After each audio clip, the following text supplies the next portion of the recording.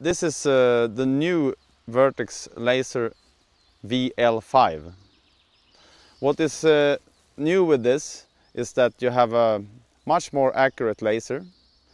You can measure short range, even down to less than uh, 50 centimeters. You will have an accuracy that is uh, far beyond uh, anything that we have, uh, the products that we have had before. You also will recognize our Vertex has the buttons. As you can see, is exactly like the Vertex. So the, as a user you will uh, recognize uh, easily how to, to use it and it will be very easy to start up using the, the new VL5. The unit also have uh, the aiming sight such as the Vertex and we have seen that the non-magnification uh, uh, is very good especially when, uh, when measuring at a shorter range.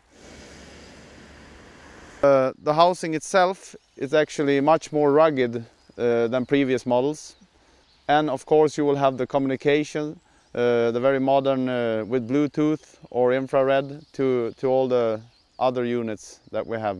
Different also from the previous model is that you could communicate with a standard USB to uh, external device such as a PC. A big uh, difference also is that in the VL5 you could store data such as tree heights and you can even have special cal calculations would be possible to do in the unit. So, and it could present the average values and so on. Uh, this we believe will be a very huge step forward for our users where we can also uh, make tailor-made uh, applications.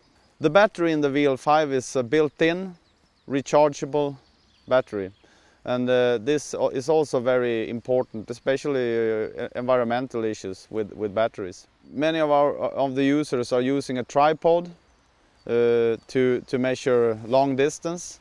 Here we have a, a standard uh, will, will, be, will fit uh, a camera, monopod or, or a tripod. The VL5 of course has all the good features uh, that the previous uh, Vertex Laser 402 had.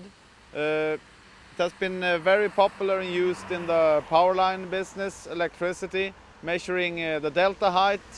You have the dangerous tree function where you can see if the tree will actually fall on the line or not.